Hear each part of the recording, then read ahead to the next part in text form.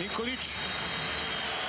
Agresivno ob njemu Micić. Jasno je bilo, da bodo Srbi igrali izjemno agresivno na tej tekmi, ampak imamo, imamo slovenska peterka.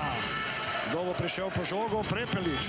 Prepelič takoj za tri z ogromne razdalje in ja, enostavno je. Ule se je videlo, da bo Vidmar prišel do te žoge. Dončić, brez osebne napake v napadu.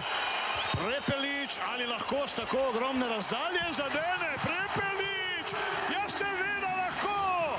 Trojka nova Prepeliča, 11 njegovih točk, 4-3 njegove četrtine, 21-10 zaenkrat izid za Slovenijo. Zagorac, Prepelič, Prepelič in tehnična napaka Lučiću zaradi simuliranja osebne napake v napadu. Dobro, zdaj smo se izvlekli. Tole je za nas seveda odlična odločitev. Itmar se odkriva. Prepelič. Prepelič. Dragič z ogromne razdalje za tri zadev je tudi to. Za naslov evropskega prvaka v košarki. Prepelič natančen.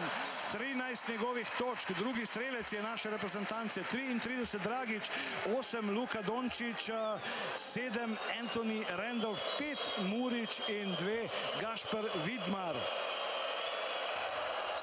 Tudi v drugo, brez prave organizacije, agresivni so Srbi do skrajnosti, jasno, Prepelič iz ogromne razdalje.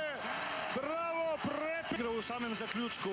Prepelič, Prepelič, Prepelič za tri, zadev je Prepelič, ne, ni trojka, dvojka je, ampak nič hudega.